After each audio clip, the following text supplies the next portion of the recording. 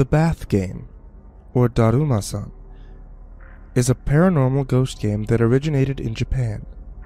The game involves summoning a grotesque ghost that will follow you all day. The object of the game is to evade the ghost and prevent it from catching you. Warning. We advise you not to play the bath game.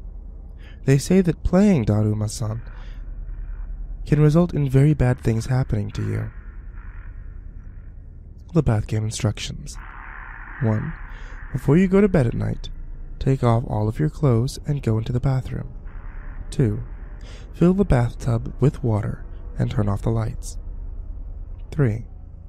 Sit in the middle of the bathtub facing the faucet or tap.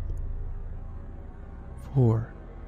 Wash your hair while repeating over and over the words Daruma san fell down. Daruma san